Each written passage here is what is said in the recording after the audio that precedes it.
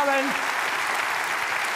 Guten Abend. Schön, dass Sie da sind im Kapitol in Offenbach. Schön, dass Sie da sind. Ich habe alles mitgebracht. Ich habe alles, habe alles mitgebracht. Meine ganzen Sondierungspapiere habe ich mitgebracht. Ich habe mir nur gesagt, bis Mitternacht müssen wir durch sein. Sonst mache ich den Lindner und gehe. Christian Lindner, deshalb bin ich auf der Seite der Menschen, die sagen, hoffentlich kriegen wir keine Neuwahlen, sonst müssten wir diesen Posterboy noch mal wochenlang ertragen. Lindner, mir hat es im Wahlkampf schon so gereicht, an jeder Laterne, an jedem Baum. Ich habe mir immer nur gedacht, wo tritt dieser Florian Silbereisen noch überall auf? Na, jetzt soll ich dieses verrückte Jahr 2017, es war ein historisches Jahr, oder? Boah, was alles los war. Das Ende der Volksparteien, massives Insektensterben. Die SPD steht auf der roten Liste und muss unter Artenschutz gestellt werden. Das schlechteste Wahlergebnis der CDU seit 1949. Na, die CSU senkt ihre Obergrenze an Stimmen von 50 plus X auf 40 minus XX. Mit der AfD sitzt erstmals eine dumpf rechtsnationale Partei im Bundestag und auch zum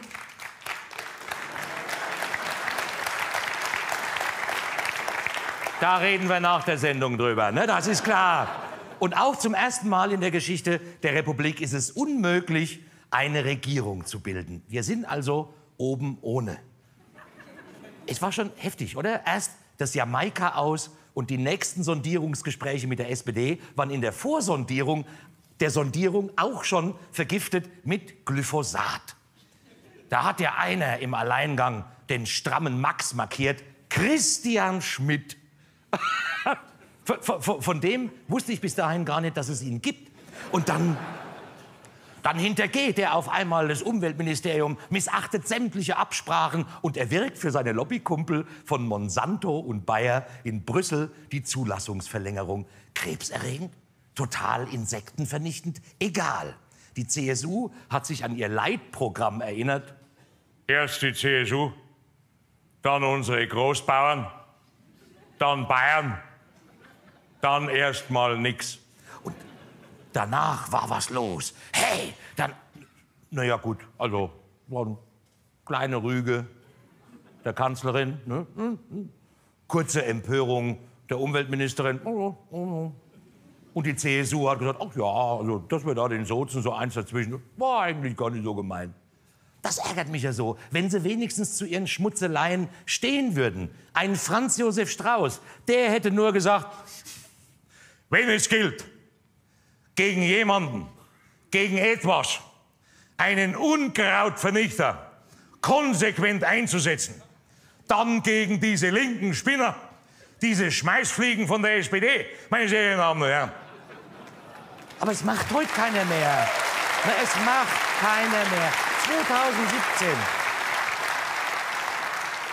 Es macht heute keiner mehr. 2017, es hat sich alles so verschoben. Italien kann keinen Fußball mehr spielen und und Deutschland findet keine stabile Regierung. Es ist ganz Europa ist in Sorge, die Welt in Aufruhr, ganz Deutschland ist entsetzt. ganz Deutschland? Nein. Also ich, also ich bin da. Unglaublich, oder? Schon am Tag nach der Bundestagswahl, nach dem Desaster für ihre CDU, stand die Kanzlerin da am Pult, stellt sich hin bei der Pressekonferenz und meint, also ich kann keine Fehler erkennen. Wie sie da stand, in diesem grauen Wammes, wie die ältere Schwester von Kim Jong-un. Ne, da, mal ganz ehrlich.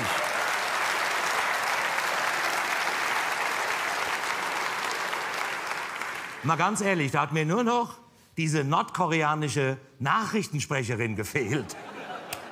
광명성 3호 2호기 위성 발사 성공. Also übersetzt irgendwie sowas. Ja, Tahong, der bigge Crash, aber der Meckel, aber der Me Oh, Meckel, alle gut. Nein, sie blieb ganz ruhig. Ich sehe nicht, was wir anders machen sollten. Hat dann zu den Journalisten noch kurz den Ring zum Küssen hingehalten. Das war's. Ne? Auch, ihr, auch ihr selbstkritischer Auftritt nach der verbockten Sondierungspleite, wo sie nur sagt, natürlich trete ich wieder an. Ich verstehe, diese Frau hat mittlerweile eine Verdrängungsleistung wie ein Hochseetanker. Dabei weiß sie doch eigentlich, worauf es ankommt. Als Obama zum Abschiedsbesuch in Berlin war, er war schwermütig, er hat gejammert, er hat gesagt, oh, ich hätte sogar noch weitergemacht, dritte Amtszeit, Trump verhindert und es geht ja leider nicht. Da hat sie zu ihm gesagt, wörtlich, Barack, du weißt, Demokratie lebt von Veränderung. Sagt Lady Patex. Ehrlich, das war schon. Das war schon heftig.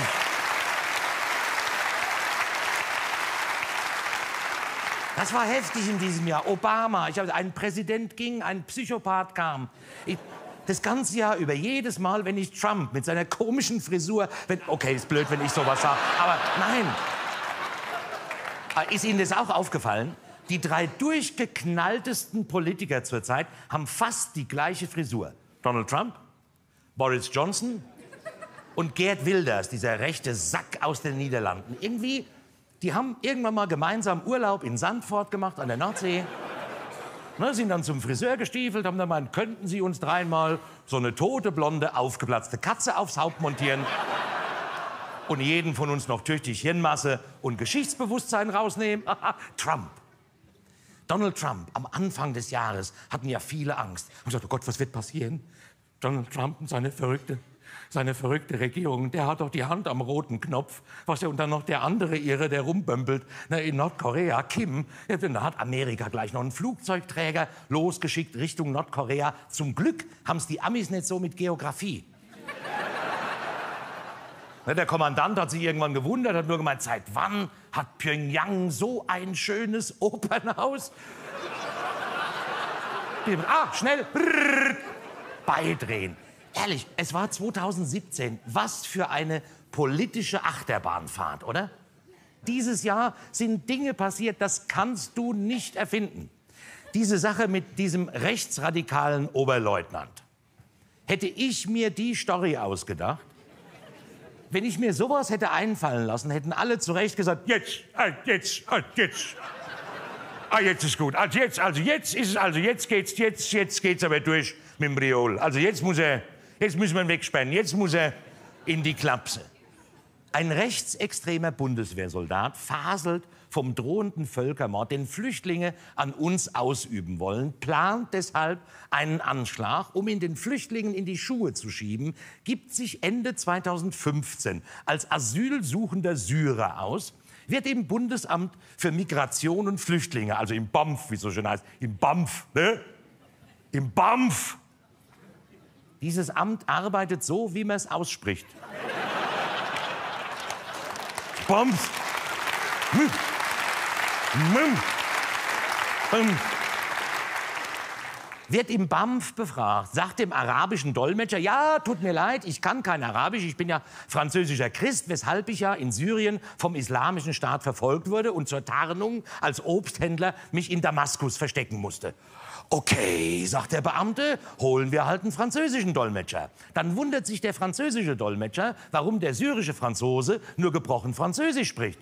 Ja, sagt der deutsche Oberleutnant, der im Elsass stationiert ist, sein schlechtes Französisch würde ja wohl belegen, dass er unmöglich aus Tunesien, Algerien oder Marokko stammen könne, sondern zweifelsfrei Syrer sein müsse.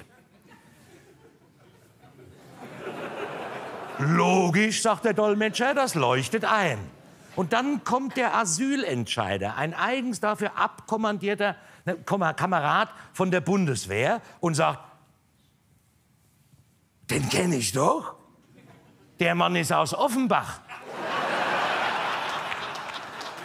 Und wer aus Offenbach stammt, ein Deutscher in Offenbach zweifellos eine verfolgte Minderheit, der hat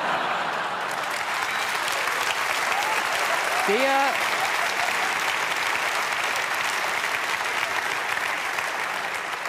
der hat überall in Deutschland Anrecht auf Asyl. Und dann kriegt der gefakte syrische Oberleutnantsflüchtling aus Offenbach Asyl gewährt. Und zwar wo? im Sicherheitskernkompetenzland Nummer eins. In Bayern. Also, okay, Bayern, das war ja im ganzen Jahr, ne? Das war eher so wie eine Neuverfilmung von Ein Käfig voller Narren.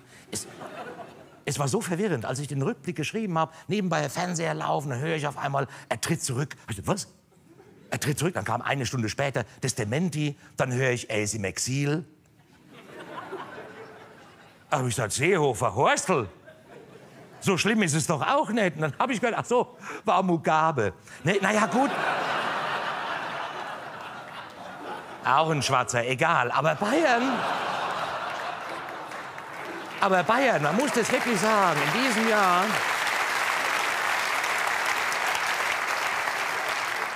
In diesem Jahr, ehrlich, hat man gemerkt, Bayern leidet. Ne, ausgerechnet dort hat die AfD im Westen die meisten Stimmen geholt. Natürlich sofort Kampfansage der CSU. Wir müssen, wir müssen jetzt, jetzt was wir müssen, wir müssen, wir müssen die rechte Flanke schließen.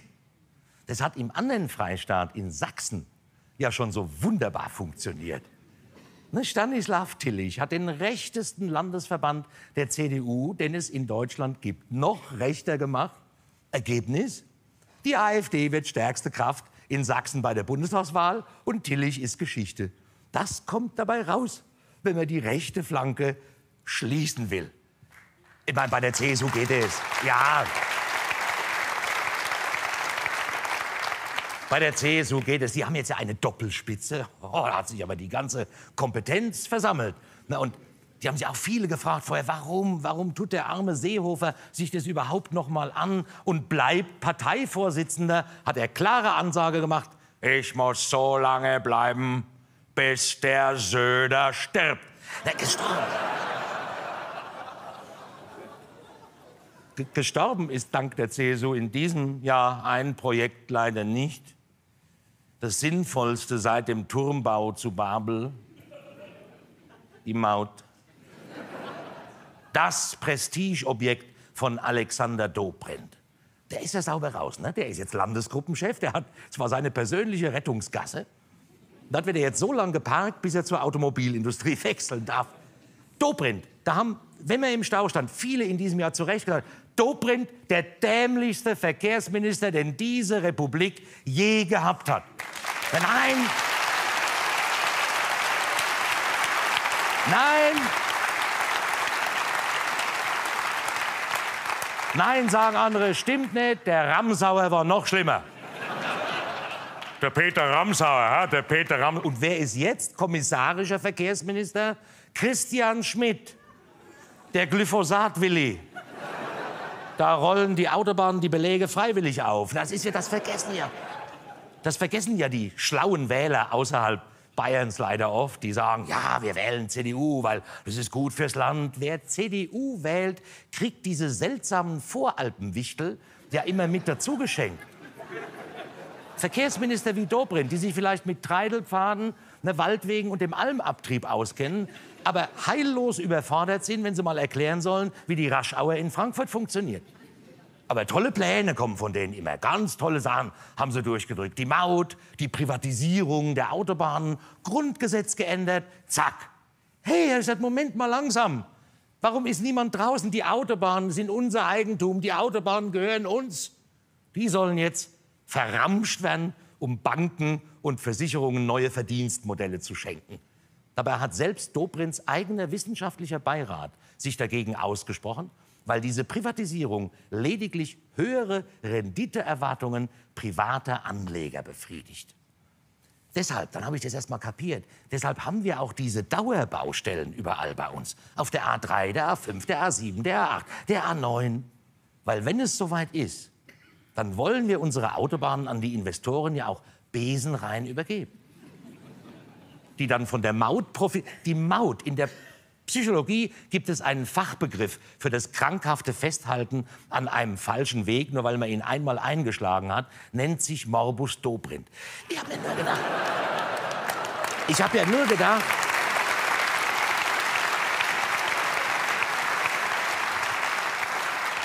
Ich habe ja nur gedacht, diesem ganzen Autobahnblödsinn einfach nicht zuzustimmen. Was wäre das eine Chance gewesen für die SPD, oder? Ja, gut, die gab's, stimmt ja, die gab's in diesem Jahr ja auch noch. Das Spurenelement der Politik. Was für eine Achterbahnfahrt. Oder Anfang des Jahres war klar, okay, Merkel bleibt bis mindestens 2033. Dann kam Schulz. Schulz! Auf einmal war er da über Nacht, wie nach so einem warmen Sommerregen, ein Pilz, der aus dem Moos rausploppt. Stand er in der Gegend rum, der Rotröhrling, und auf einmal waren alle in euphorischer Stimmung, haben gesagt, jetzt ist Schulz, jetzt ist Schulz. Wir, gut, das kennt man von Bäumen. Ne, das ist der Angsttrieb, eine kurze, heftige Blüte direkt vor dem Absterben. Andere, andere waren in Sorge. Andere waren in Sorge und haben dann gesagt, lieber Gott, guck mal, seit der Schulz da ist, unser SPD, wie das Nuff geht in der Umfrage, oh, lieber Gott, 5%, noch einmal 5%, wir sind, ui, wenn das so weitergeht, wir werden doch am Ende nicht wieder Verantwortung übernehmen müssen. Keine Angst, keine Angst, ihr kennt euch doch. Es war natürlich, sein Hauptfehler war ja, Schulz Hauptfehler war, Ne, er wollte ein paar kleine Stellschrauben an Schröders Agenda 2010 neu justieren. Aber nicht mit einem. Nicht mit Gerd. Wer die Axt? Wer die Axt an meiner Agenda legt, mit der ich Deutschland zum größten Niedriglohnsektor in ganz Europa gemacht habe, ne? mit der ich der CDU auf Jahre hinaus eine gemähte Wiese zu Füßen gelegt habe. der versündigt sich an unserem Land. Der verliert jede Wahl. Okay, jetzt gut, Schröder darf man nicht ganz so ernst nehmen.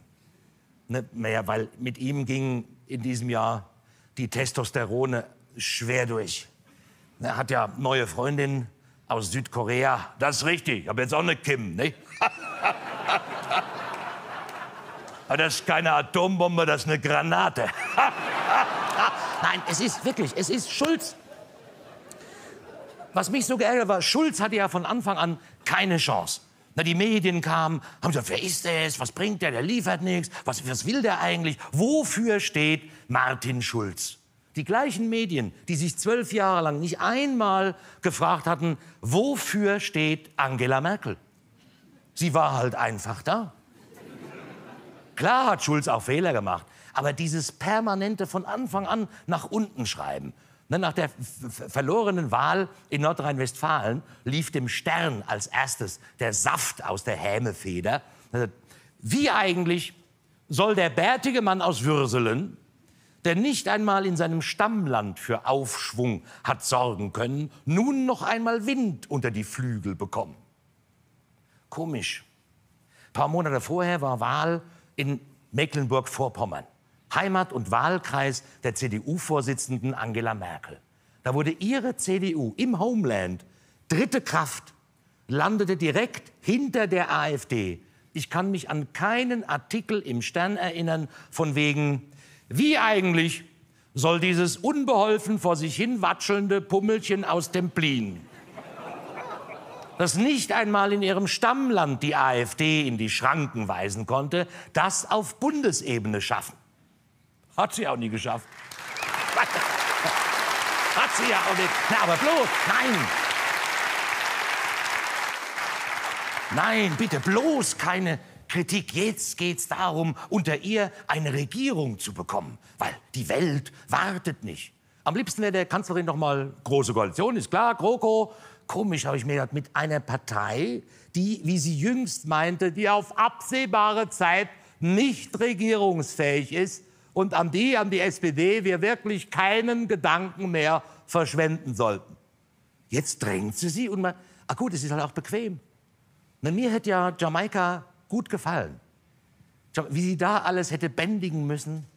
Und dann auf die Sozen ist halt immer Verlass. Jetzt haben die Sozen so einen lauen Kompromiss angeboten, oder? Eine Kooperationskoalition. Hä? Also Coco statt GroKo. Das ist fix und foxy, Pat und Patterchen und dick und doof in Vollendung. In der Opposition hocken und alles abnicken, was die Union will. Das hat die SPD ja schon in der Zeit der schwarz-gelben Koalition gemacht. 2009 bis 2013, um so das Kabinett Merkel II in Amt und Würgen zu halten. Brav, doof und staatstragend, wie es die Sozen gelernt haben. Na, ich fände es ja toll, eine echte Minderheitsregierung, ein lebendiges Parlament ohne Fraktionszwang. Zurück zur Uridee der Demokratie. Für Ideen kämpfen, andere mit eigenen Argumenten überzeugen. Gut. Das wäre für die Union Neuland. Hat sich ja bei den Sondierungsgesprächen gezeigt. Alle haben Positionen aufgegeben, haben rote Linien weggradiert. Nur von der CDU kam und kommt nichts. Deshalb wirkt der Altmaier auch immer so verzweifelt. Der immer sagt, was sollen wir denn machen? Wir haben nichts. Wir haben keine Positionen, keine Prinzipien und keine Inhalte. Wir haben in den Verhandlungen nichts anzubieten, auf das wir verzichten könnten. Gut, den Grünen hätten sie gar nichts anbieten müssen, ne? Die konnten es ja kaum abwarten. Katrin Göring-Eckert, wie die auf dem Balkon stand, die konnte es ja kaum erwarten. Was hat die mit den Hufen gescharrt? Und hat gesagt, was ist, wann geht's denn endlich los? Scheiß doch auf unsere Prinzipien, weg damit, wann geht's endlich los? Ich will endlich, will endlich Frau Merkel, wann darf ich ihr Flocati sein? Na, auch, auch Cem.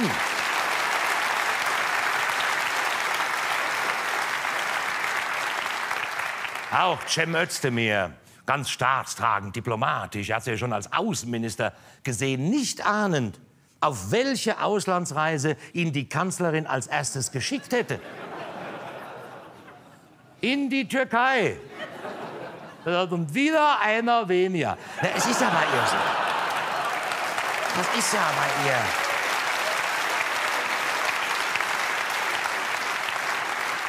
Diese ganzen neuen Gestalten. Lindner ist ja ein Lindner, steht ja für diese neue Politgeneration, für all diese smarten Slim-Fit-Typen. Ne, bei uns Lindner, Linnemann, Spahn, alles irgendwie so Kai Pflaume. Bei dem passt Nachname wenigstens auch zum Inhalt. Aber auch in Österreich, dieser, dieser, dieser Bonsai-Gutenberg, Sebastian Kurz. Auch so eine. Österreich hat man in diesem Jahr schön gesehen. An diesem Land hat man ja gesehen, wo es hinführt, wenn eine große Koalition so lange regieren muss, bis es rechnerisch nicht mehr reicht. Bis zwei rechte Flanken geschlossen zueinander finden. Die ÖVP, die klingen immer so harmlos, ne? Die ÖVP, jö. Und die FPÖ. Aber gefrustet waren sie alle. ich war vor Ort und habe gesehen, im, im, im Kaffeehaus in Wien, gefrustete Wiener. Das ist eh wurscht jetzt. Jetzt ist eh wurscht. Jetzt haben wir nur mehr die Wahl zwischen einem kleinen Braunen und einem großen Braunen.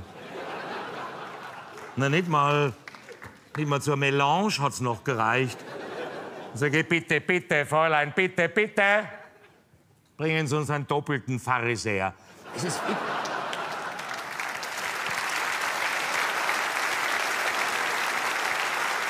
Es ist ehrlich wahr. Ich habe ja Sebastian Kurz, ich, ja ich habe ja die, seine Wahlplakate gesehen. Der, der, der, der, Heilsbringer, den hat man vor drei, vier Jahren noch bei Ikea im Bällebad abholen müssen. Und dann... Und dann wird er dahingestellt vor Monumentalbauten von unten angeleuchtet, ins rechte Licht gesetzt. Ich habe mich nur gefragt, lebt Leni Riefenstahl noch?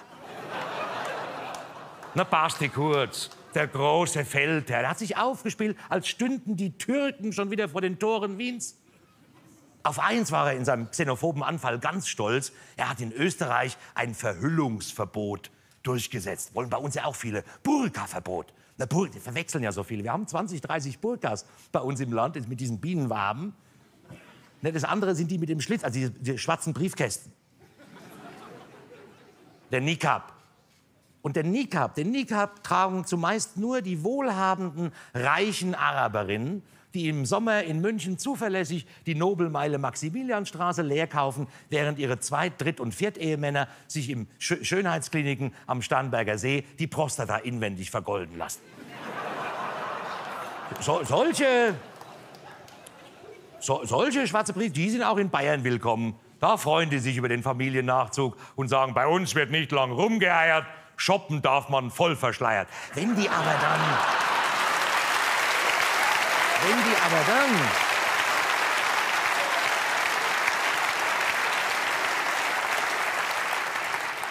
wenn die dann sagen, oh, dann machen wir noch ein bisschen Urlaub in Österreich, wenn die nach Österreich fahren, dort müssen sie dann 150 Euro Strafe zahlen. da lachen die meisten mal kurz und meinen, so wenig Geld haben wir doch gar nicht. Also, auf solche Ideen kommen diese Nasen, diese Schlimmfitten, diese Generation Luftpumpe. Ne? Einer hat sich davon etwas abgehoben in diesem Jahr, Macron. Oh, Macron. Oh, Emmanuel Macron. Macron, Marie-Françoise, Macron. Macron. Was haben sie denen gefeiert? Gründet einfach mal eine Bewegung, sagt, die Bewegung heißt En Marche und ich werde Präsident. Wurde er auch. Da haben viele gesagt, sowas geht nur in Frankreich. Das ist Revolution. Da kennen die sich. Aber gesagt, langsam, Freunde. Er hatte eine große Zukunftsvision für Frankreich. Schröders Agenda 2010 eins zu eins zu übernehmen. Da ich mir, wenn er das macht, dann hat Frankreich wieder eine Revolution.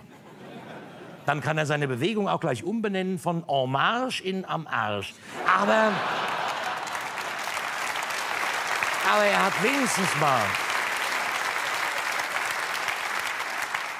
Aber er hat wenigstens mal gezeigt, wenn man leidenschaftlich für Europa ist, wenn man für Europa eintritt, kann man auch Wahlen gewinnen. Das hat mich aber dem Schulz so geärgert. Jetzt kommt er an. Jetzt kommt er auf einmal an, ja, wir müssen über die Vereinigten Staaten von Europa nachdenken. Wo war es denn im Wahlkampf? Was hätte er im Wahlkampf punkten können damit? Von wegen, hey, wisst ihr, wer ich bin? Ich war mal Parlamentspräsident in Brüssel. Ich bin in Europa bestens vernetzt. Ich werde, ich kann. Nix. Da hat er sich klein gemacht.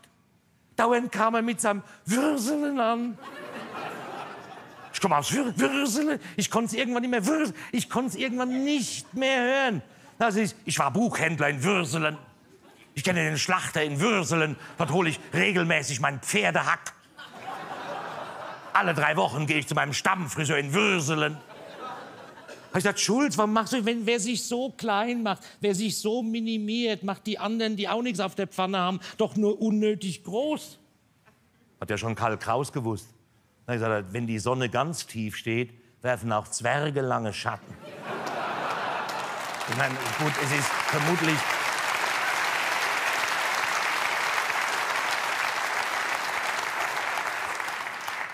Wahrscheinlich waren es seine Berater, ne?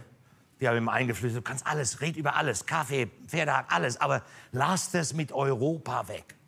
Ich sage, ausgerechnet jetzt, in diesem Jahr, Europa, wo wir doch sagen, Europa, wie, wie das auszufransen droht, da müssten wir ohnehin die klügsten Köpfe, die besten Leute des Landes nach Brüssel schicken. Und wir schicken Gestalten wie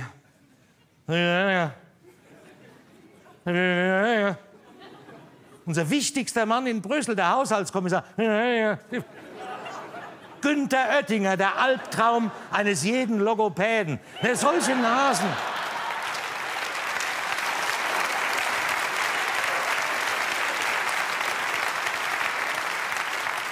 Solche Nasen schicken wir nach gut Brüssel, sagen mittlerweile ja viele, ist nur noch so eine Art Gut Eiderbichel, also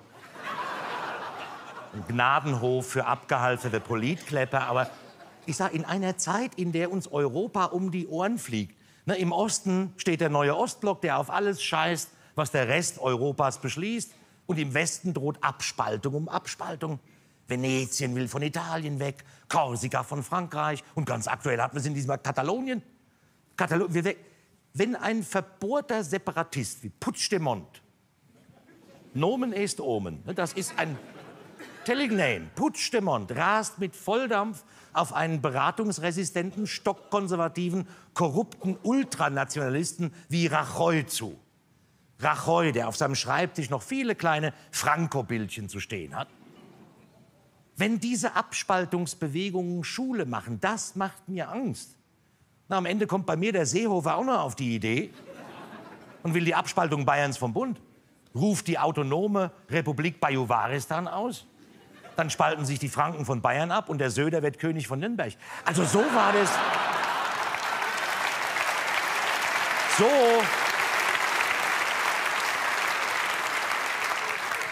So war das mit dem vereinten Europa, mit der Idee mal nie gedacht. Na, los ging es ja mit diesem blöden Brexit. Aber da, da hatte sich in diesem Jahr Theresa May Theresa May sauber verzockt. Da hat gesagt, ja komm, also die Sterne stehen günstig, ich mache mal eben Neuwahlen, dann stärke ich mich mit einem robusten Mandat, strong and stable. Und dann ist die Jugend aufgewacht, die das Referendum über den Brexit verschnarcht hatte und hat die sowas von abgestraft, dann war Panik angesagt. Sagt, Mayday! Mayday! Die Wahl im Juni und das erhellende Ergebnis, June is the end of May. Aber es war wirklich, Theresa.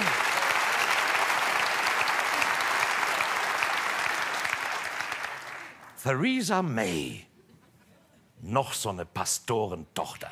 Ne, wenn, ich die, wenn die immer so lang starkst, so eine Mischung aus Marabu und Fischreier. Ne, aber was ich erstaunlich fand, war, da, dafür liebe ich die Briten, ne, es hat gerade mal ein Jahr gedauert.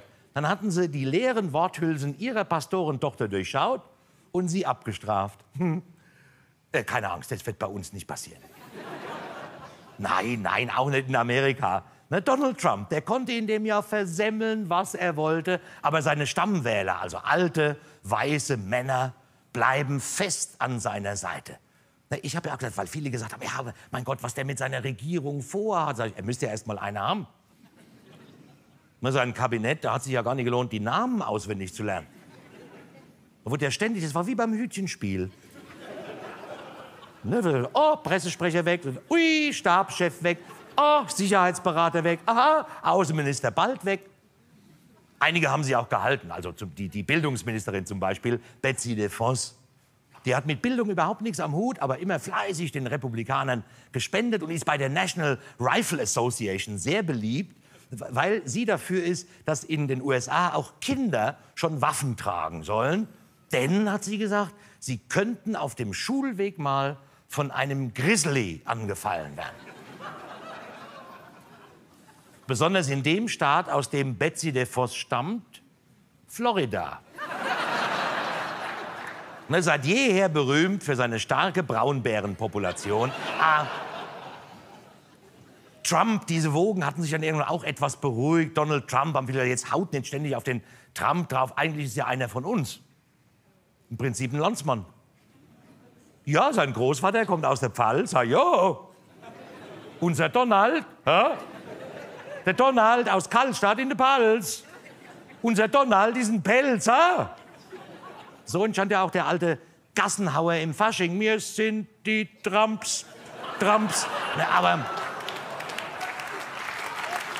Habe ich auch noch mal gesagt, die, die, am, am meisten.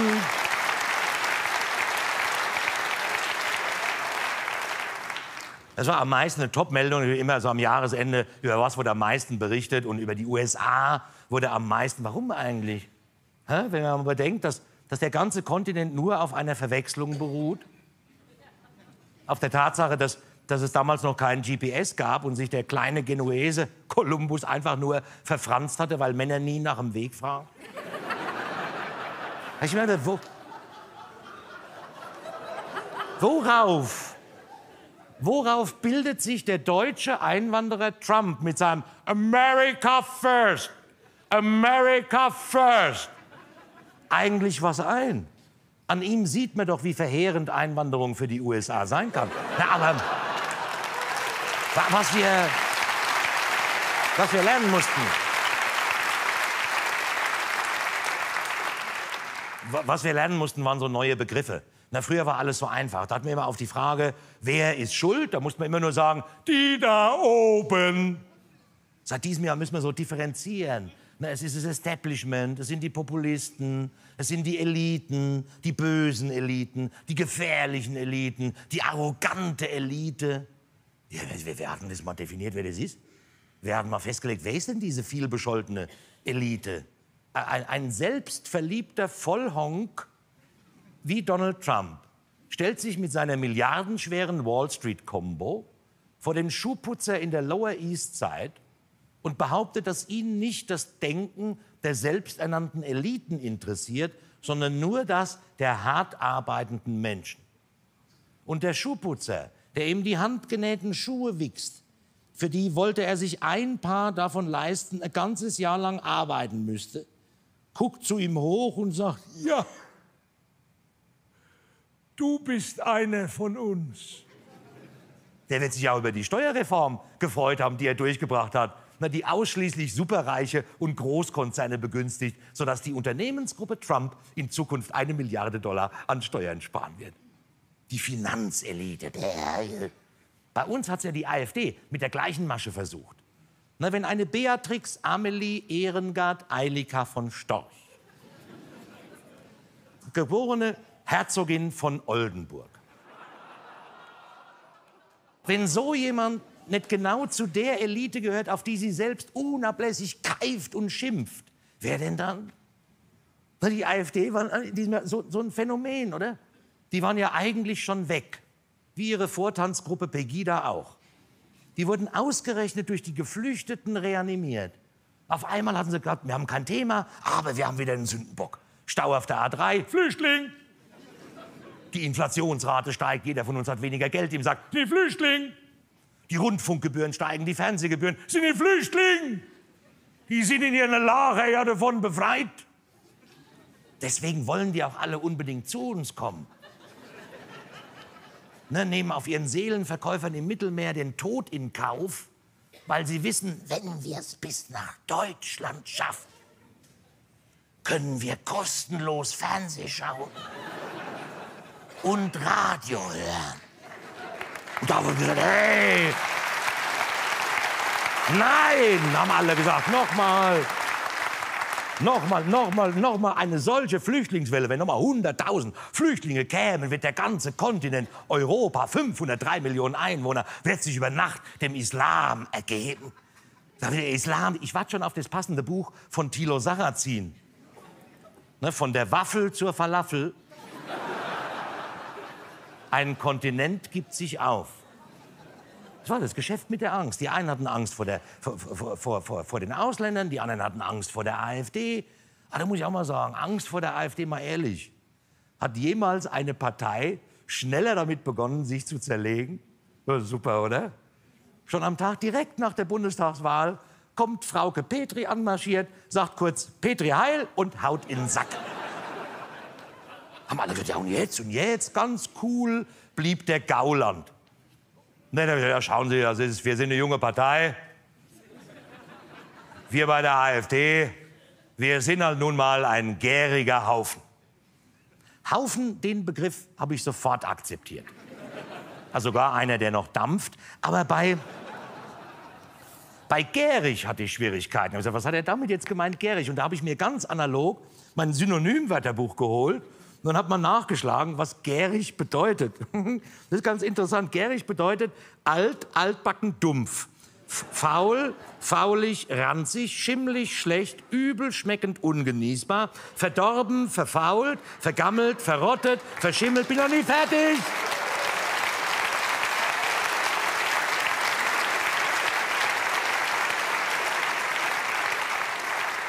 Ich war noch nicht fertig verschimmelt, verwest und wurmstichig. So, jetzt, besser kann ich. Besser kann man die AfD, ehrlich.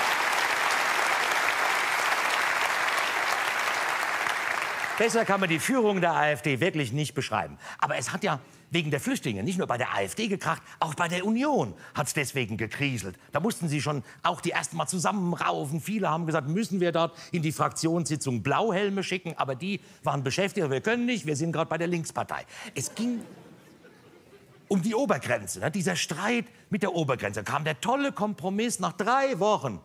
Na, Seehofer behält seine Zahl. Es heißt dann aber nicht mehr Obergrenze, weil die Kanzlerin gesagt hatte, mit mir wird es keine Obergrenze geben. Haben alle gesagt, okay, kennen wir von ihr, also von vielen Sachen, aber damit nichts an ihr kleben bleibt, ändern wir einfach mal den Begriff. Wir wollen ja, also die, die uns nützen können, kommen, die Guten ins Köpfchen, die Schlechten ins Ding. Nennen wir das Ganze nicht mehr Obergrenze, das heißt jetzt atmender Deckel. Wie, was? Ah, Atmen der Deckel? Hab ich was ist los? Remake von Winnetou?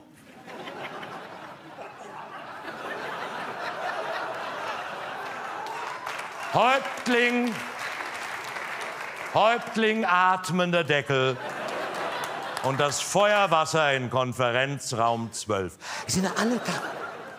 Alles nur, weil Deckel drauf, Flanke schließen. Alle hatten irgendwann nur noch ein Ziel, der AfD die Themen zu nehmen. Unser großer Innenminister, Thomas de Maizière, hat uns in diesem Jahr mit zehn Thesen zur deutschen Leitkultur beglückt. Also Thesen, die er selbst bestimmt hat. Ich gehe sonntags morgens an die Tankstelle, ne, hol mir die Sonntagszeitung ne, und dann prangt mir seine erste Leitthese auf der Titelseite entgegen. Wir sind nicht Burka. So was ist denn das für ein Deutsch? Ey, wir sind nicht Burger, ey, kapiert, sonst Fresse. Naja, vielleicht.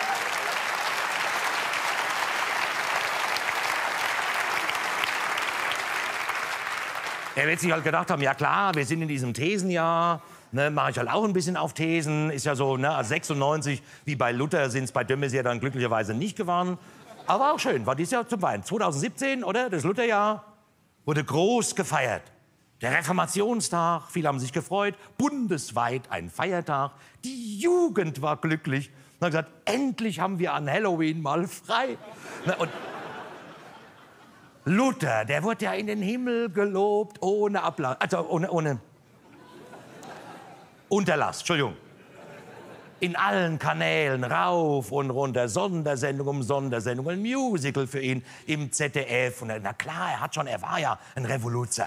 Na, wie er gegen den Ablasshandel und wie er gegen Rom und gegen den Papst gewettert hat. Aber bei den ganzen Pauschal-Lobhudeleien haben leider manche vergessen, Luther war auch ein großer Antisemit und Frauenfeind. Manche sagen schon, es war der Harvey Weinstein des Spätmittelalters.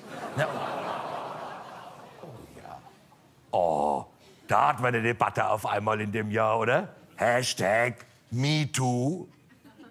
Da kamen ja Sachen ans Licht. Ich war, ich war so überrascht. Also ich, ich hätte es niemals für möglich gehalten, dass es in Hollywood Besetzungscouches gibt. Da waren viele überrascht und alle waren dabei, betraf nicht nur Frauen. Ne, Kevin Spacey hatte eine eigene Besetzungscouch für Männer.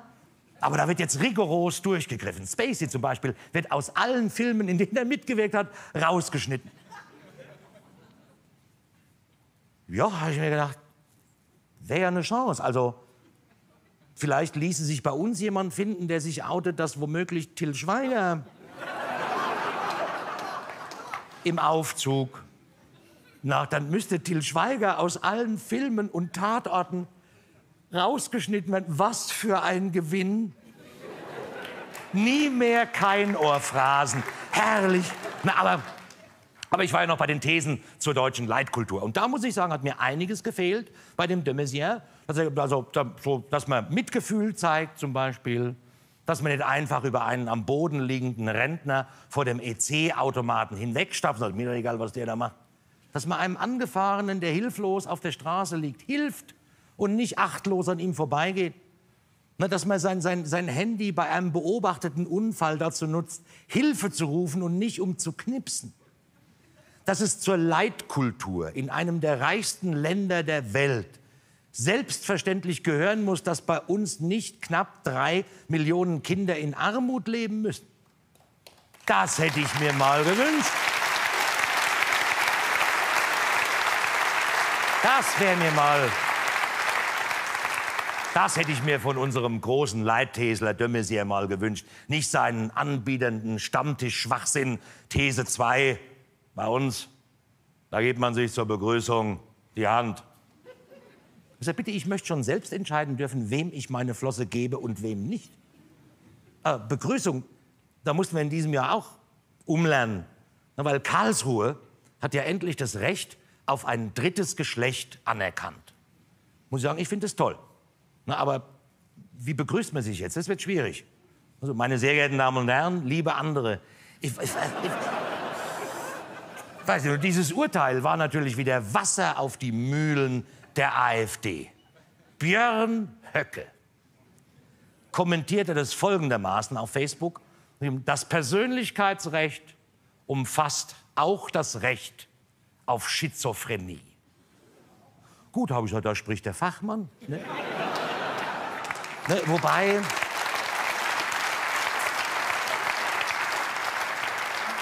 Wobei habe ich mich dann gefragt, wie kann man als Einzeller eine doppelte Persönlichkeit entwickeln? Egal. Egal, was in diesem Jahr besonders schlimm war, wir mussten uns mit diesen Themen auseinandersetzen. Wir hatten nichts, mit dem wir uns mal für einen längeren Zeitraum hätten ablenken können. Na, diese vier Wochen im Sommer, da gab es nichts. Keine Fußball-WM, kein Olympia. Und bei der Fußball-EM der Frauen war im Viertelfinale Feierabend. Gut, jetzt Boris Becker, der große Finanzfachmann, und Prince Harrys Verlobung. Aber sonst ich war so froh, als die Bundesliga wieder losging. Weil da ist immer was, der FC Bayern. Ne? Der FC, in diesem Jahr hat sich ja in diesem Jahr radikal verjüngt. Gell? Der juvenile Jupp Heynckes. Da haben alle gesagt, das sieht man mal mit seinen 72, wie sinnlos die Debatte über die Rente mit 70 ist. Eigentlich wollte der FC Bayern ja Rudi Gutendorf holen mit seinen mit seinen 91, aber der hat abgewonnen, er hat gesagt, keine Zeit, bin zu beschäftigt. Das war Fußball. Aber das ist so wichtig, dass wir das haben. Fußball, die schönste Nebensache der Welt. Na, und dann wird auch der politisch. Dieser Anschlag auf den Mannschaftsbus von Borussia Dortmund. Da war natürlich gleich klar, oh, Bekennerschreiben, viele Rechtschreibfehler, war der islamische Staat. Ganz klar. Na, weil der Islam, der reklamiert ja mittlerweile alles für sich, oder? Irgendwo Wirtshausschlägerei in Niederbayern, sofort Bekenn Bekennerschreiben vom Islamischen Staat. Dann mussten sie sagen, ja, bei Borussia Dortmund kam dann raus, es war doch nicht der Islamische Staat, es war der Deutsch-Russe Sergei W. Er wollte an der Börse zocken und hat gehofft, also wenn der Anschlag klappt, dann gehen danach die BVB-Optionsscheine in den Keller, gibt es große Verluste, auf die zocke ich, auf sinkende Kurse. Dann hat er gesagt, an der Börse, um so an der Börse Gewinne einzufahren, hat er Tote in Kauf genommen war die Empörung groß. Ne? Ein Mordversuch aus Habgier, niederste Beweggründe. Dömesier war entsetzt.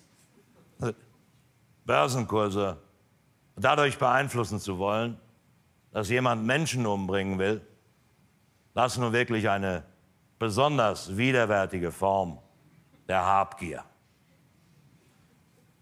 Ja, habe ich mir gedacht, äh, Tote in Kauf nehmen, um so Gewinne einzufahren, ist doch das Geschäftsmodell eines jeden börsennotierten Rüstungsunternehmens. E, ebenso wie die Spekulationen auf Lebensmittelknappheit, wie es die Allianz, die Deutsche Bank und Nestlé betreiben. Komisch, dazu habe ich von de Maizière noch nie was gehört. Da, da hält er es wahrscheinlich. Da, wahrscheinlich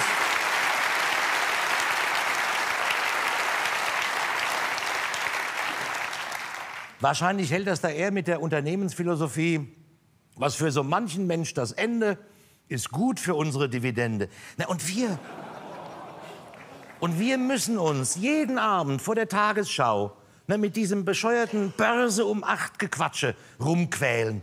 Diese, diese, blöden Gewinnberichte, die nur eine Minderheit interessieren, uns überhaupt nichts bringen, uns völlig am Arsch vorbeigehen können. Dafür zahlen wir Gebühren für diesen Schwachsinn. Darüber müssten wir mal nachdenken. Darüber müssen wir uns mal aufregen. Da müssen wir mal auf die Stadt. Viele sagen, ja, ja, ich bin schon kritisch. Ich schreibe ab und zu mal einen Blog.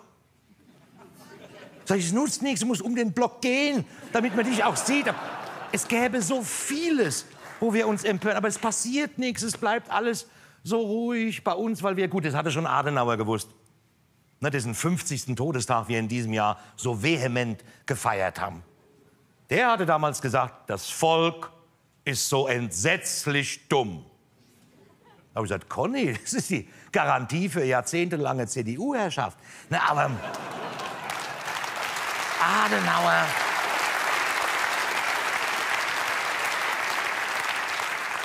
Der große Konrad Adenauer, von dem ja der bis heute gültige einzige große Gesellschaftsentwurf der Union stammt.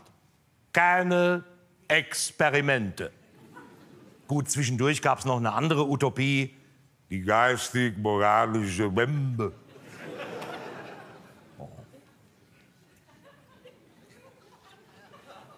Deren Erfinder ging ja in diesem Jahr von uns. Helmut Kohl.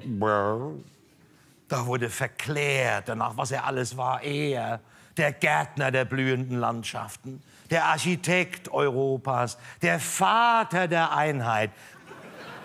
Ja, ich weiß, viele sagen, jetzt lass es doch mal mit dem Kohl. Über die Toten nur Gutes. Äh,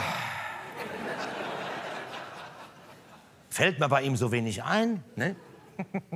Hat seine Amtszeit begonnen mit einem veritablen Schwarzgeldskandal und er hat sie beendet mit einem veritablen Schwarzgeldskandal. Man kann auch sagen, Kohl war ein korrupter Sack. Aber dann ging's los. Dann ging's los. Alle haben gesagt, ja, Straßen und Plätze sollten nach ihm benannt werden. In seiner Heimatstadt Ludwigshafen sollte die Rheinallee in Helmut Kohl-Allee umgetauft werden. Warum nicht gleich den Rhein noch in Bimbeskanal umtaufen?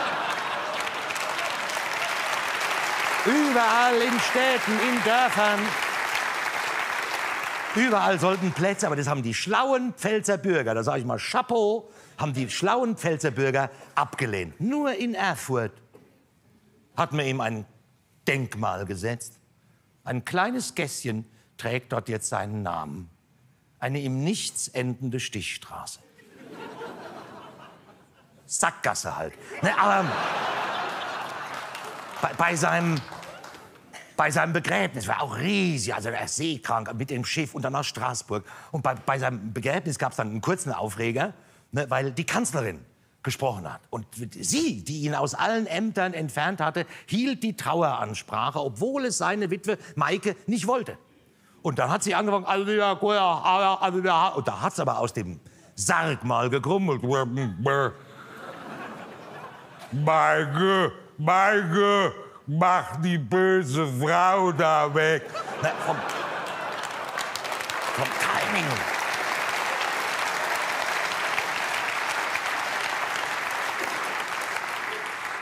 Vom Timing her war es schlecht, haben viele gesagt. Also Helmut Kohl ging viel zu früh. Ja, eigentlich hätte er 14 Tage vor der Bundestagswahl. Also das war der Wunsch der Union.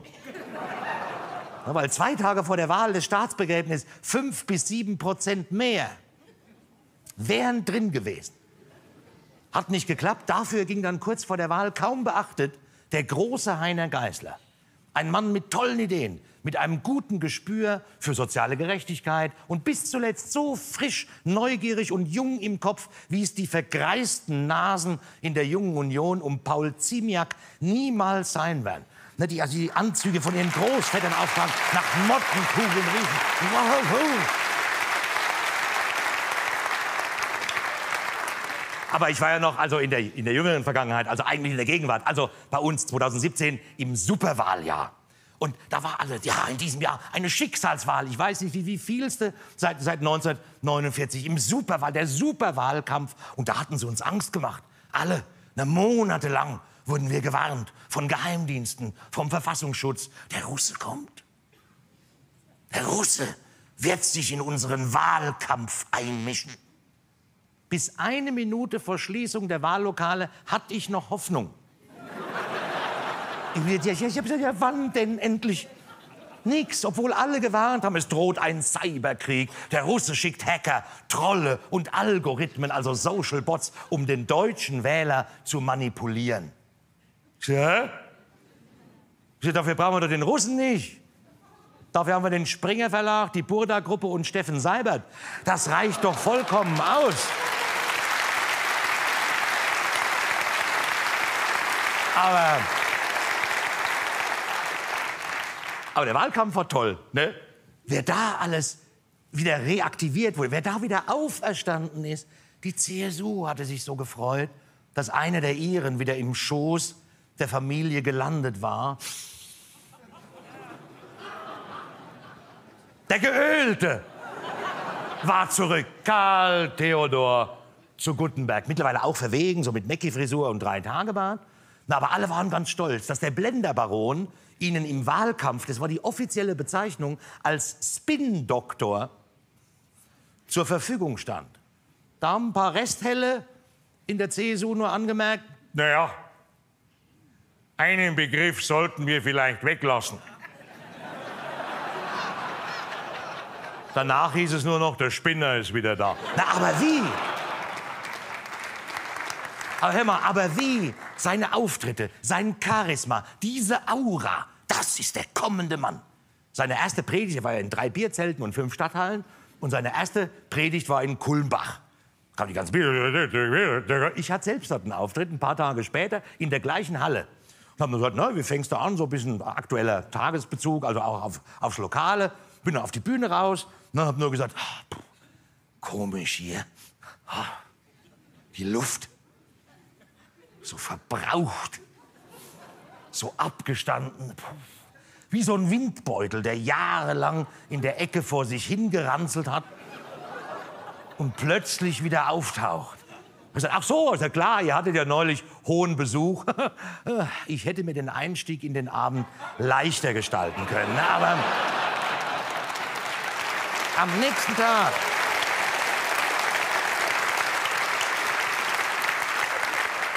Aber am nächsten Tag hat die Bild-Zeitung das, das Kulmbach-Comeback Gutenbergs gefeiert. Das Chefredakteur Nikolaus Blome, Gutenbergs ständiger Enddarmbewohner, hat auf, hat auf Seite 1 frohlockt und hat gesagt, die Gutenbergs sind auf dem Weg nach Berlin. Und alles könnte dort werden. Außenminister, Kanzler, Papst. Ich habe gesagt, Moment, nur weil er da mal in Kulmbach ein bisschen, okay, er hat die Menge begeistert mit seinem Geschwurbel. Ne, besonders als er sich dann den Schröder vorgeknöpft hatte wegen seiner Geschäftsbeziehungen zu Russland.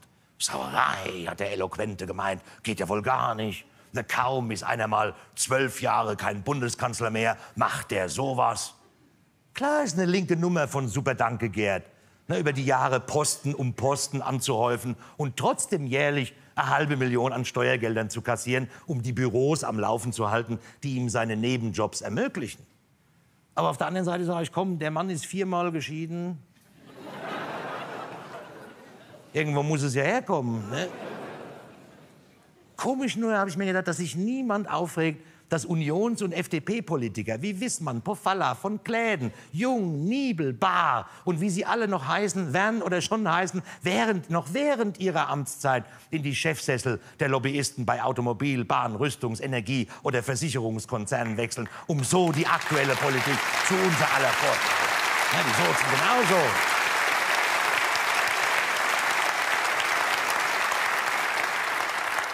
Die Sozen genauso. Gerade ganz aktuell, ne, Albig, der Loser von Schleswig-Holstein, ist jetzt Unternehmensrepräsentant in Brüssel für DHL. Eine Bombe, die ganz ohne Päckchen hochgeht. Hannelore Kraft, die treusorgende Landesmutter, hockt jetzt im Aufsichtsrat der Ruhrkohle AG. Ja, habe ich mir gedacht, guck, so bekämpft man wirksam Politikverdrossenheit. Aber Russengerd, den hat sich der Ex-Geölte richtig vorgeknöpft in Kulmbach. So, da sieht man's. Alte Liebe, Rosneft nicht. Da waren die unten ganz aus dem Häuschen. Der Kerl, der Kerl geguckt, hat der heute liebe Hoffnung. Wortspiel. Da hat der Gutenberg wieder gedacht, das merkt keiner.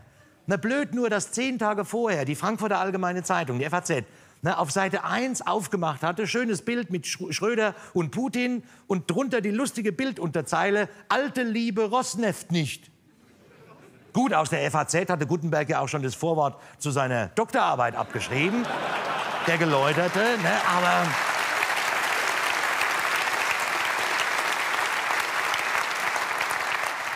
Aber der Redakteur vom Dienst bei der FAZ, der war pfiffig. Der hat gleich getwittert, da sieht man wieder, einmal Plagiator, immer Plagiator. Was, was mich nur wundert ist, ich traue dem Frieden noch nicht, weil es ist, mir ist es um den Gutenberg seit der Wahl so verdächtig ruhig. Ne? Man hört irgendwie so gar nichts mehr. Na, irgendwas ist da, ich vermute, Horst Seehofer hat ihn noch als letzten Joker. So wie früher beim Quartett der, der Supertrumpf hat er den irgendwo noch in der Tasche für den Parteitag. Wird anheben, wird sagen, er hat alles verstanden, wird sagen, Es ist an der Zeit für eine Verjüngung der Partei auf allen Ebenen. Da steht der Söder daneben und sagt. Und du, mein lieber Markus, ja, bist ja nun auch nicht mehr der Jüngste mit deinen 50. Deshalb ernenne ich dich, komm raus, mein lieber Karl Theodor, zu meinem Nachfolger als Parteivorsitzender. Da wäre wieder Stimmung. Das wäre in Ordnung. Aber alle, es waren ja überall, auch die, auch die Schwesterpartei, die CDU, hatte interessante Wahlhelfer gehabt. Heino, Uschi Glas, hat die Kanzlerin irgendwann gesagt, also jetzt aber mal zur Sache, Schätzchen. Und dann war sie mit Sophia Tomalla Schnitzel essen. Endlich mal jemand auf Augenhöhe. Sie haben alles geholt. Obama haben sie vom Surfbrett gezerrt. Der saß neben der Kanzlerin beim evangelischen Kirchentag am Brandenburger Tor. Der arme Schulz durfte wieder in der Fischräucherei in Eckernförde rumturnen. Der Glanz der Medien war bei ihr. Das ist der ehemalige amerikanische Präsident. Das bin ich. Am Tag der Ökumene kam noch der Kathole Kretschmann vorbei und hat gesagt, wenn es jemals noch eines Beweises bedurft hätte, dass Gott eine Frau ist.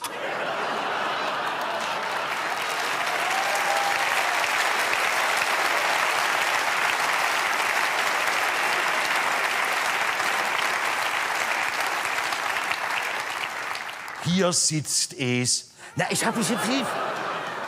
Ich weiß nur eins, ich habe ich hab warum, ich, ich versuche das seit Jahren, also warum sind alle so verblendet von ihr? Das hat der zu Recht völlig in Vergessenheit geratene Ex-Fußballnationalspieler Arne Friedrich, auch einer ihrer Wahlkampfunterstützer, schön auf den Punkt gebracht. Er gesagt, ich wähle Angela Merkel, weil sie die Spielmacherin unserer Wirtschaft ist. Ja, habe ich gesagt, Arne, du alter Fußballer. Bei der Logik weißt du dann aber auch, dass es dann immer einen schwachen Gegner braucht, der zuverlässig gegen die Spielmacherin verliert. Ne? Und das sind meistens leider oft wir, die Bürger. Und wir verlieren und verlieren und verlieren. Wir sind, sagen manche schon, der erste FC Köln der Republik. Nehmen wir nun mal diese Cum-Ex- und Cum-Cum-Geschäfte der organisierte Steuerbetrug in Milliardenhöhe, an dem sich Geldinstitute und Kapitalanlagefonds jahrelang fett gemacht haben. Aber ja, wie konnte es gehen? Wie konnte sowas gehen? Es ging ganz einfach. Einmal Kapitalertragssteuer auf Börsengeschäfte gezahlt, dann ein paar Schachtel- und Scheinfirmen gegründet, um sich die einmal gezahlte Steuer doppelt, dreimal bis zu zehnmal zurückerstatten zu lassen der größte Steuerbetrug in der Geschichte der Republik, zweistellige Milliardenhöhe, verübt unter den Argusaugen ihres obersten, von uns so verehrten Finanzaufsehers Wolfgang Schäuble. Gut, deshalb war die FDP bei den Sondierungen wahrscheinlich auch so scharf drauf, das Finanzministerium zu übernehmen. Weil haben gesagt, unter ihr wäre alles besser geworden. Gell? Ne, als Finanzminister gehandelt, wurde ja Wolfgang Kubicki. Wolfgang, gut, in seinem Nebenjob als Wirtschaftsanwalt verteidigt er ausgerechnet den Mann, der sich die ganzen Cum-Ex-Geschäfte ausgedacht hat. Hanno Berger, der in der Schweiz lebt, weil er Schiss hat, bei uns eingeknastelt zu werden. Und dann hätte ausgerechnet Kubicki äh, den Staatsschädling unterstützt, hätte Kubicki Finanzminister werden. Da hat Peer Steinbrück unter dem die Finanzsauereien auch schon liefen. Ne, der saß im Glashaus und hat Stein um Stein sich geschnappt. Und hat gesagt, wenn Kubicki Finanzminister werden sollte, das ist Realsatire. Habe ich gesagt, Realsatire, mein lieber Peer, ist, dass wir mit Wolfgang Schäuble acht Jahre lang einen Finanzminister hatten, der in Parteispendenaffären und Schwarzgeldskandale verwickelt war und der jetzt als Bundestagspräsident die Parteienfinanzierung kontrollieren muss. Das ist Realsatire. so,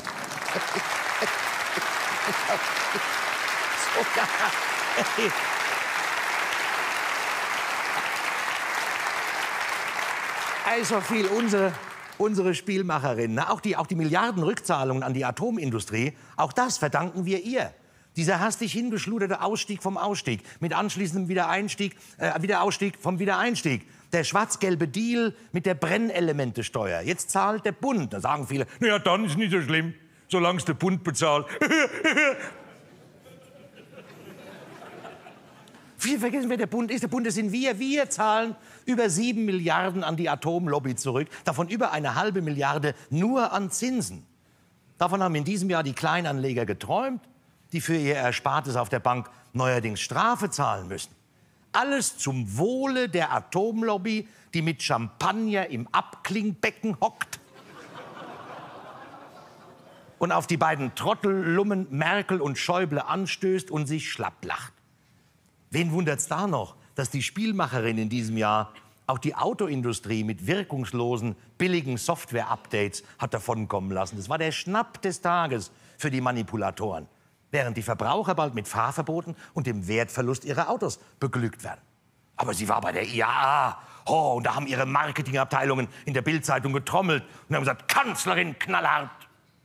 Sie knöpft sich die Autobosse vor. Das hat man dann schön gesehen als sie hingingen.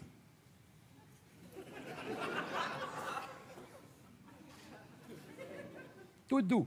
Na, und wir. Und wir leiden, was diese ganzen Skandale mit uns gemacht haben. Es ist unser Selbstwertgefühl geht doch baden. Wir haben das Auto, das deutschen liebstes Kind, das Auto. Mit VW ging's los, ein Skandal nach dem anderen und es hört nicht auf. Da kamen ja in diesem Jahr Sachen raus, nicht nur bei VW. Alle hatten sich ja abgesprochen. Na, alle hätten den Diesel sauberer machen können mit dem Einbau größerer AdBlue-Tanks. Stattdessen haben sie gemeinsam beschlossen, den Diesel dreckig zu lassen. Ja, das größer, kostet mehr Geld, na, ist schlecht für die Rendite.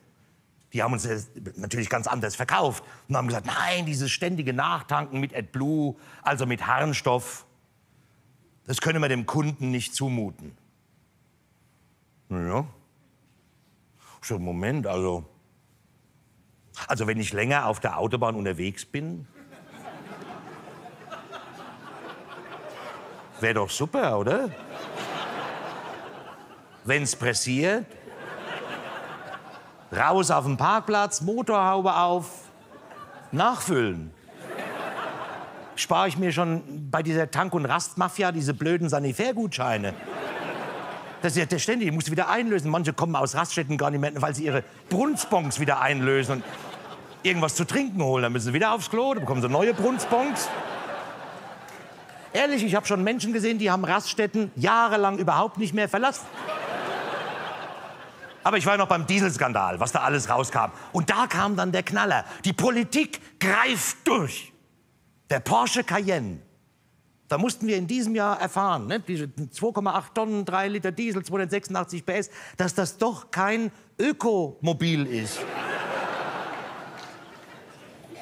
Die, diese rollende Schrankwand der war im Prospekt angegeben mit einem Drittelmixverbrauch von 7 Litern.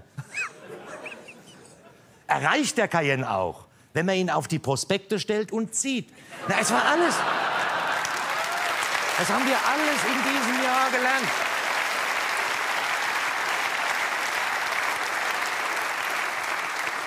Haben wir alles in diesem Jahr gelernt. Komisch nur, habe ich, dass bei uns alles so ruhig bleibt. Diese Auto, Millionen Menschen sind betroffen, bleibt alles ruhig. In den USA musste VW 23 Milliarden Euro Strafe zahlen. Die Händler wurden verpflichtet, alle manipulierten Autos zurückzunehmen. Und darüber hinaus haben sie einen Manager von VW zu sieben Jahren Haft verurteilt. Gut, es war ein Bauernopfer. Ne, hat für VW den Kopf hingehalten, reicht. Kaum war er verurteilt, hatte ihm VW auch schon gekündigt. Denn es gibt Wichtigeres für uns, als sich mit der Vergangenheit zu beschäftigen. Und bei uns, dem Land, aus dem die Marke stammt, wo die betrügerische Software erfunden wurde, da bleibt alles ruhig. Ne, ja, haben viele gesagt, wenn VW jetzt auch noch in Deutschland und Europa entschädigen müsste, das gefährdet Arbeitsplätze. Na dann lieber weiter mit dem Beschiss. Alle sagen, ja, was soll man denn schon? Ich kann ja sowieso nichts dagegen machen. Was soll man denn als Einzelne dagegen machen? Mit Sammelklagen könnte man schon. Ne, aber seit Monaten liegt der Antrag dafür im Kanzleramt, der einfach nicht bearbeitet wird. Ne, und Dobrindt hat sich in einem Aktenvermerk sowieso schon deutlich positioniert. Sagt, lehnen wir ab, komplett streichen, Punkt. Vielleicht hätte man diese Abschaltvorrichtung rechtzeitig bei Dobrindt aufspielen sollen. Man, mit Elektronik geht heute doch alles, oder? Du bist ja selber, du bist, das regt mich ja so auf, dieses Fremdbestimmte. Du fährst ja heute nicht mehr Auto, du wirst Auto gefahren. Diese ganzen elektronischen Gimmicks. Du, Spurhalteassistent. Fährst du, das komme ich an dem LKW vorbei. Brrr. Elektronischer Regensensor scheißt der Möwe auf die Frontscheibe. Der Wischer fängt das Wischen an. Ne, du siehst nichts mehr. Du siehst, er muss aus dem Fenster gucken, da kommt ja der Spurhalteassistent wieder in die Quere.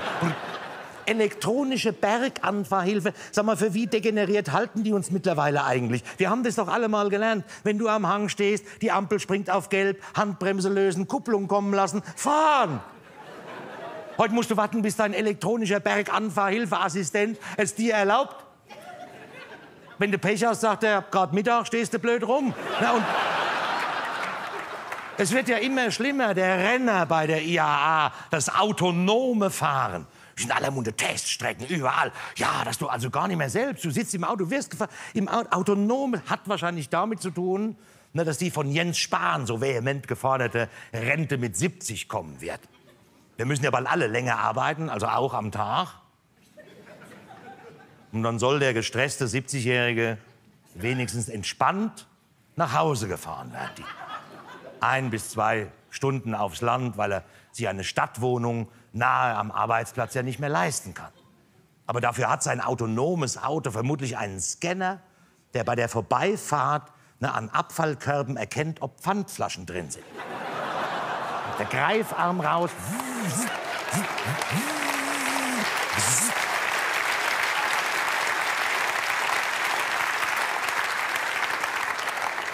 Ideen von autonomem Fahren. Autonomes Fahren.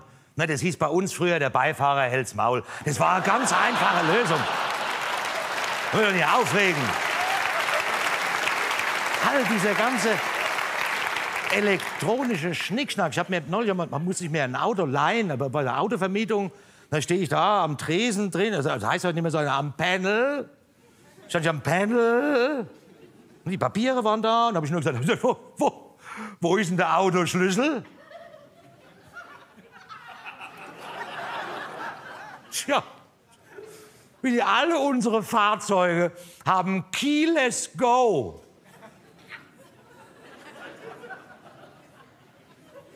Aha.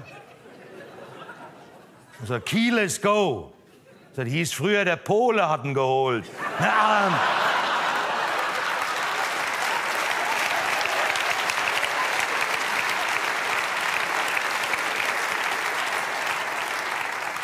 Aber dieses Dieselthema, es gab ja Krisengipfel um Krisengipfel. Die Vertreter der Automobilindustrie haben sich immer gefragt, was sollen wir eigentlich hier? Was wollen die denn alle von uns? Unsere Regierung hat sich doch immer so für uns eingesetzt in Brüssel, für den ganzen Beschied. Auch der Kretschmann hat sich aufgeregt. Der war richtig, der hat richtig gepumpt. Der war so, ich muss jetzt mal Schluss jetzt mit der Verteufelung des Automobils. Diese Feinstaubdebatte, ich kann es nicht mehr hören. Demnächst werden wir noch eine Burka-Pflicht für Innenstädte einführen müssen, weil nur dieses feinmaschige Gewebe vor den angeblich so gefährlichen Partikeln schützt. Lass doch das Dorf mal in der Kirche, in die ich allsonntäglich gehe. Mit den Feinstaubwerten von Stuttgart wäre Peking ein Luftkurort alle sind so gaga. Es ist mit dem ganzen, wir werden so verschaukelt. Erst dieses, ihr müsst Diesel kaufen, ist gut für die Umwelt. Jetzt sagen die Diesel sind ganz bebe, ist ganz schlecht. Jetzt müssen Elektroautos her, weil nur Elektroautos sagen alle, ja, wir brauchen das emissionsfreie Auto. Es gibt kein emissionsfreies Auto, nur das, das nie gebaut wird um, um diese großartige Zahl, oh, bis 2020 äh, eine Million Elektroautos auf die Straße zu bringen, müssten wir zig neue Braunkohlekraftwerke in die untere Lausitz stellen, damit die emissionsfreien Autos genügend Strom geliefert bekommen, damit sie überhaupt fahren können. Da lacht.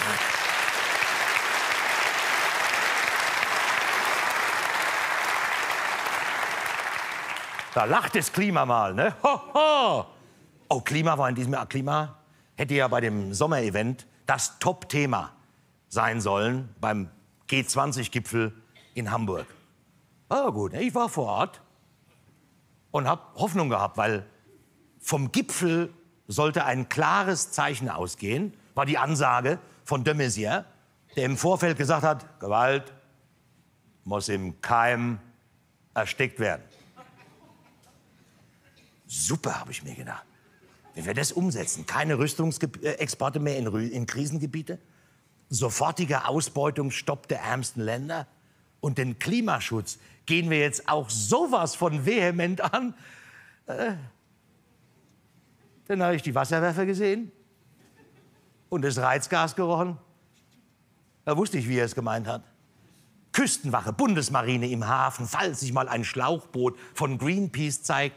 Ein amerikanischer Flugzeugträger war auch da, die USS Twitter. Gut, okay, der hatte sich wieder verfahren. Ne? Der Kommandant war ganz verwirrt, hat die neue Elbphilharmonie gesehen und gesagt, oh, schon wieder so ein tolles Konzerthaus. Wo sind wir denn jetzt gelandet? Hamburg, die belagerte Stadt, was für ein Bohai. Ich sagte, hätten wir es nicht ein bisschen entspannter haben können? Hä? Alle Gipfelteilnehmer erstmal durch den Gerichtshof für Menschenrechte in Den Haag geschleust. Das hätte die Teilnehmerzahl schon mal sauber ausgedünnt. ähm.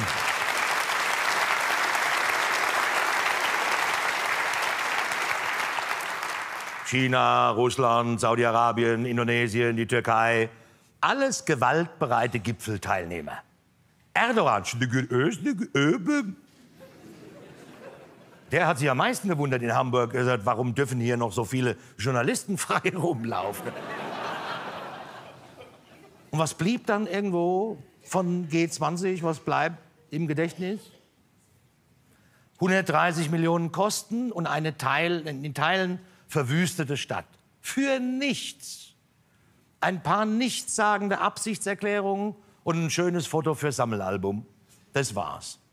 Als größten Erfolg hat dann auch die Kanzlerin am nächsten Tag auf der Pressekonferenz vermerkt, kein Witz, der Gipfel konnte abgehalten werden. Das hatte irgendwie schon was von vorgezogenem Fasching, oder? So manch G20er war empört, weil man an seiner Show sich stört. Wie wird verteilt? Ist das gerecht? Nein, wusste schon der Bertolt Brecht. Reicher Mann und armer Mann standen da und sahen sich an und der Arme sagte bleich, wär ich nicht arm, wärst du nicht reich. Salamasch!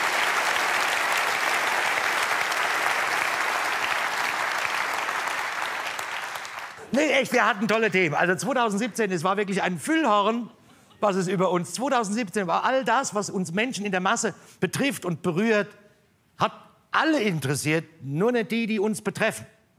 Die Politiker. Haben wir schön gesehen da na, bei, diesem, bei diesem unsäglichen Kanzlerduell. Dieses Narkotikum am Sonntagabend.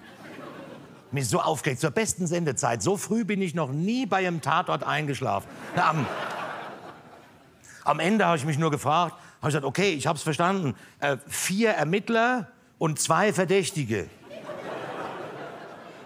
Aber wer ist der Mörder? Es gab ja auch keinen drinnen. Es lief ja auf allen Kanälen, bei den Privaten rauf und runter. Ja auch beim ZDF. Okay, die Zuschauer vom ZDF haben gar nichts gemerkt. Die haben gedacht, sie kriegen ihr gewohntes Programm an dem Arm. Rosamunde Pilcher. Zwei Möwen im Wind. Morgen träumen wir gemeinsam.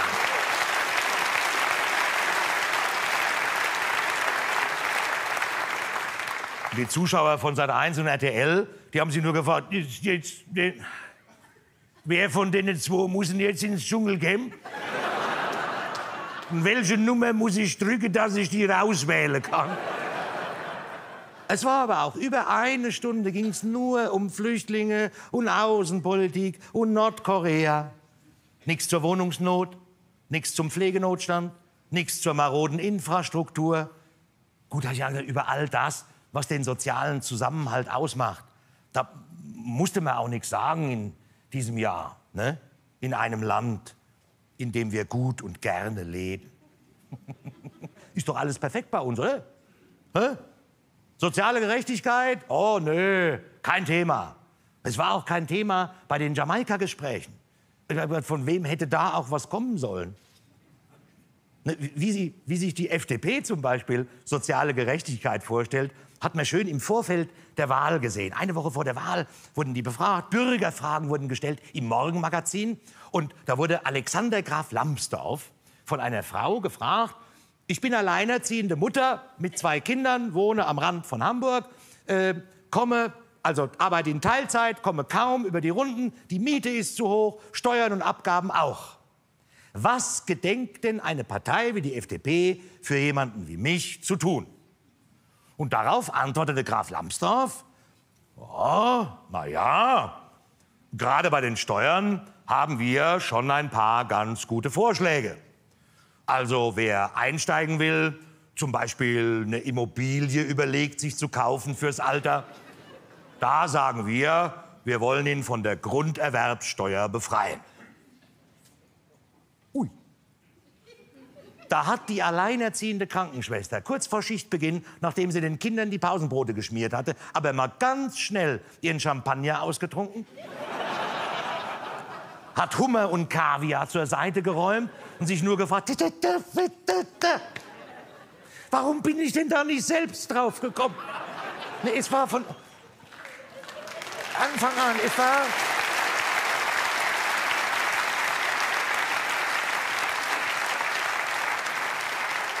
Es war von Anfang an diese Sondierungsgespräche, die haben sich gezogen und gezogen. Moses hat 40 Tage für seine zehn Gebote gebraucht. Gut, er war allein, es war von Vorteil, ne? aber was mir persönlich bei den ganzen Sondierungsgesprächen gefehlt hat, war so Visionen, irgendwas. Wer denkt denn mal über den Tellerrand der nächsten Wahl raus? Wo sind neue Ideen? Jeder hat immer nur gesagt, Digitalisierung. Egal wer, der alle, ja, wir haben die Digitalisierung. Ich konnte es nicht mehr. Digitalisierung war mein neues Würselen. Die, alle vehement, die Kanzlerin hat gesagt, ja, der schnellere Breitbandanschluss. Habe ich gesagt, hallo, zwölf Jahre ist unser IT-Girl schon an der Macht. War da irgendwie nicht genug Zeit? Gut, da zeigen sich die Segnungen der Privatisierung. Welches Interesse sollte denn die Telekom daran haben, den bayerischen Wald flächendeckend breit zu bandeln? Damit ein Förster im finsteren Tann streunende Wölfe schneller auf Instagram posten kann? Das schmälert die Gewinnmaximierung. Aber alle sagen, oh, Digitalisierung ist so toll, Digitalisierung, toll. Was aber, wenn die Digitalisierung nicht nur Vorteile hat? Was, wenn sie am Arbeitsmarkt vehement über uns hereinbricht? Sind da schon Pläne in der Schublade? Muss dann ein Unternehmen für eine nichtmenschliche Arbeitskraft Steuern entrichten? Ja, wahrscheinlich in Bitcoins. Also in Luft. Wird ein Roboter mit den gleichen Abgaben belegt wie der Feinblechner aus Fleisch und Blut? Und wie wird das Gegenargument der Politik lauten, wenn der Chef eines vollautomatisierten Unternehmens derartigen Plänen entgegnet? Das geht nicht. Das gefährdet Arbeitsplätze. Und hinten stehen die Duracell-Häschen und trommeln Beifall. Es ist schon so. Wir leben in Zeiten des Umbruchs. Ich habe mir, sollten wir nicht jetzt langsam damit mal anfangen, in großen Linien zu denken, anstatt sie aus Verzweiflung zu schnupfen? Neue Ideen, gerade jetzt, wo ohnehin alles wegbricht, wo du sowieso auf nichts mehr verlassen ist, oder? Du gehst abends ins Bett und sagst, ja, alles in Ordnung, morgen wird so, wie es jetzt war. Und am nächsten Morgen wachst du auf und sagst, oh ja, alles ganz anders. Jetzt können wir doch mal anfangen, alte Zöpfe abschneiden. Na, in Zeiten, in denen nichts mehr Bestand hat. Wenn sogar der Papst sagt, dass das Vaterunser neu interpretiert und umgeschrieben werden muss. Klar sind da viele verunsichert. Natürlich sagen sich die Menschen, wenn das alles noch der Vaterunser nimmt, was ist dann, wo soll das alles hin? Was sollen wir denn machen? Was sollen wir denn machen? Jeder denkt, ich war ja neulich auch, ich war bei meinem Therapeuten war auch bei ihm, habe gesagt, was, was ist mit mir? Was soll ich denn, was, was, was soll ich denn, was soll ich denn machen? Weiter, weitermachen, hat er gesagt. Ich gesagt, jetzt mache ich doch. Also all die Jahrzehnte habe ich das so schon. Ich hatte doch auch mal Träume. Ich bin auf die Bühne gehopst. Ich wollte doch auch was die Welt verändern. Don Corleone wollte ich sein. Don Quixote bin ich geworden. Täglich kommen neue Windmühlen dazu. Manchmal denke ich, ich stehe vor einem ganzen Offshore-Park. Na, immer wieder, natürlich jeder. Ich habe mir auch immer wieder gefragt, worauf kommt es denn wirklich an? Was ist der Sinn des Lebens? Worum geht's? Unser Dasein? Wo kommen wir her? Wo gehen wir hin? Und wenn der Weg das Ziel ist, wie viel Maut wird er uns kosten?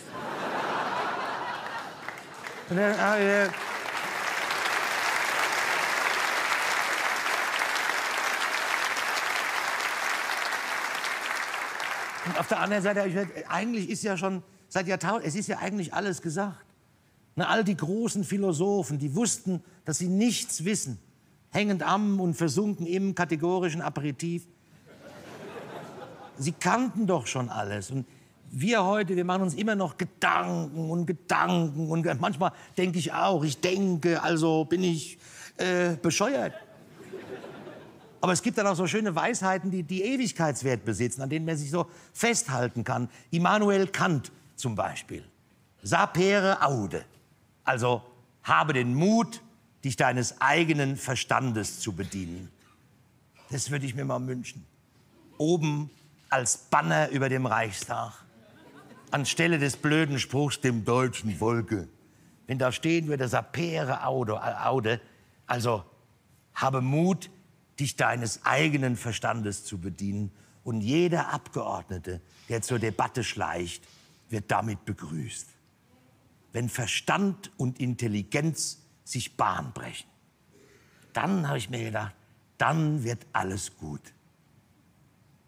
Aber dann bin ich aus meinem Tagtraum aufgewacht und mir kam ein anderer großer Philosoph in den Sinn, Jean-Luc Picard der Kommandant der USS Enterprise, der einst so weise bemerkte, die Summe der Intelligenz auf dem Planeten ist eine Konstante, aber die Bevölkerung wächst.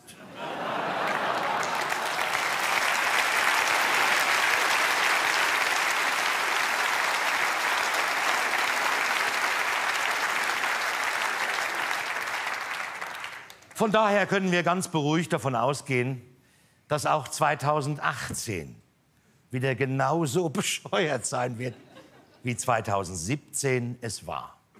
Machen wir das Beste draus. Vielen Dank.